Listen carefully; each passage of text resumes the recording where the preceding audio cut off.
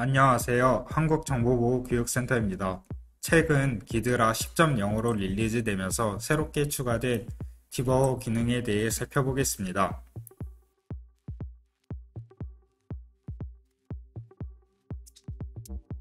기드라에서 디버거 기능을 실행했으니 이제 디버거 유형 중 inVM을 통해서 디버깅을 실행합니다. 이후 도움이 될 만한 정보를 찾기 위해서 search for strings 그리고 검색을 합니다. 보시는 바와 같이 알 수 없는 메시지를 확인할 수 있습니다. 해당 영역으로 더블 클릭을 해서 이동을 합니다. 이동한 곳에서 알 수 없는 메시지를 메인 함수에서 참조한다는 것을 확인하실 수 있습니다. 해당 영역으로 더블 클릭해서 이동을 합니다. 보시면 메인 함수임을 확인하실 수 있습니다. 우선 프로그램이 끝나는 것을 막기 위해 프린트문 다음 점프문을 breakpoint를 건 다음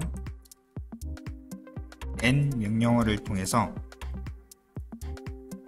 실행을 해줍니다.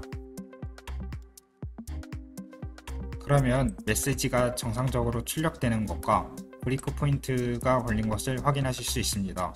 아래 코드들을 살펴보자면 문자열을 1바이트씩 EAX에 담고 EAX는 0x40과 연산하여 다시 EAX에 담깁니다. 이후 조금만 내려보면 문자열 길이를 구하는 함수를 확인하실 수 있고 조건 분기를 통해 위로 올라간다는 걸 확인할 수 있습니다. 이를 통해 문자열 길이를 이용하여 반복을 돈다는 것을 추측해 볼 수 있습니다. 먼저 추측이 맞는지 확인해 보기 위해 step over, step over 혹은 ni 명령어를 통해 한 줄씩 실행을 해봅니다.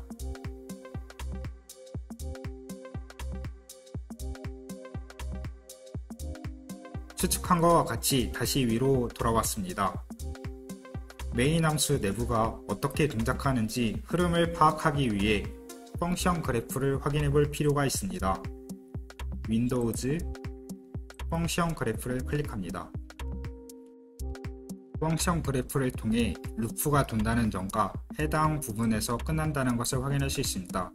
저희는 끝나는 부분을 좀 더 살펴보겠습니다. 끝나는 부분을 보면 RSI로 RA의 X값이 넘겨지는 것을 확인할 수 있습니다. 그러면 끝나는 부분으로 추정되는 이 부분을 브레이크 포인트를 걸고